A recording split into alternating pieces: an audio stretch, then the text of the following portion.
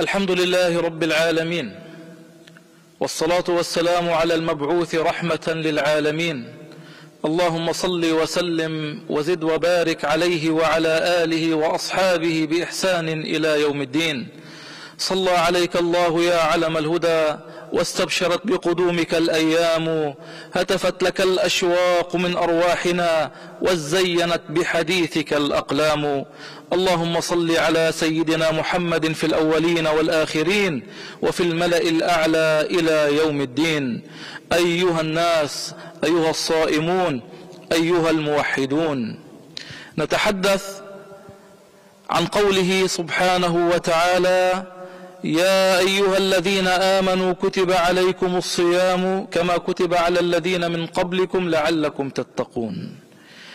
لعلكم تتقون.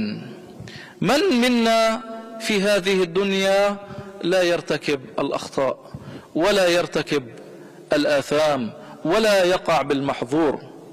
يقول النبي عليه الصلاة والسلام لو كان قوم لا يخطئون لذهب الله بهم ولا أتى بقوم يخطئون فيستغفرون فيغفر الله لهم. إذا فباب التوبة جعله الله سبحانه وتعالى بابا مفتوحا ما لم يغرغر الإنسان. يعني كل ما الإنسان فيه روح فإذا تاب بصدق تاب الله سبحانه وتعالى عليه.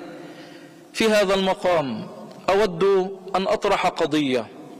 نجد عند الكثير وللأسف من العائلات المسلمة تجد عقوق الوالدين تجد قطيعة الأرحام تجد أن الإخوة والأخوات هذا الأخ لا يتحدث مع أخيه أو الأخت لا تتحدث مع أختها تجد التقصير الكبير اتجاه بعض الأبناء اتجاه الأباء والأمهات.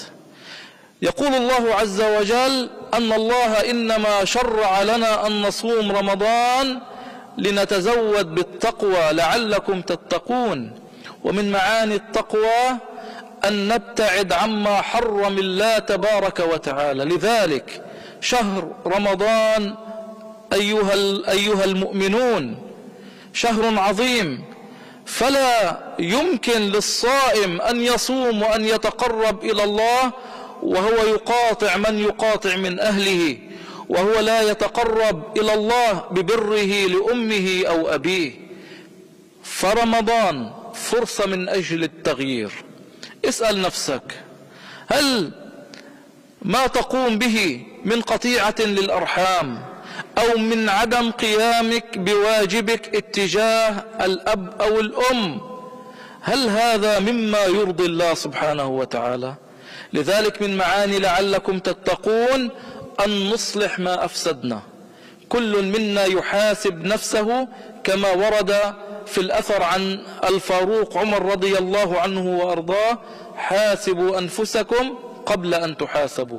وزنوا أعمالكم قبل أن توزن عليكم. يقول الله عز وجل وقضى ربك ألا تعبدوا إلا إياه وبالوالدين إحسانا.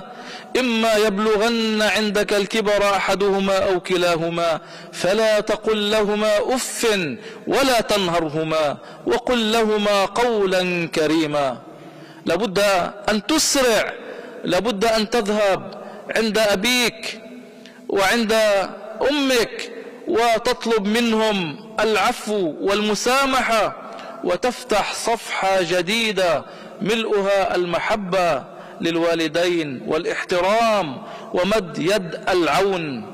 فلا يصح أن نتجاوز هذا الشهر دون أن نتوب إلى الله من هذا الأمر الذي أصلا لا يرضي الله جل في علاه.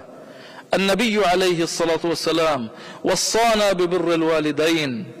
وكذلك كما قرأت هذه الآية القرآن الكريم وبالوالدين إحسانا يقول المولى جل في علاه فهنيئا لمسلم تاب إلى الله واستدرك هذا الخطأ وأراد من خلال إن شاء الله محبته لله ورسوله ومحبته لدينه ومحبته لنبيه أن يترك هذا الأمر ليتقرب إلى الله ببره للوالدين والأقارب والأرحام. أسأل الله سبحانه وتعالى أن يلهمنا ويلهمكم الرشد والخير كله. تقبل الله منا ومنكم صالح الأعمال. والسلام عليكم ورحمة الله وبركاته.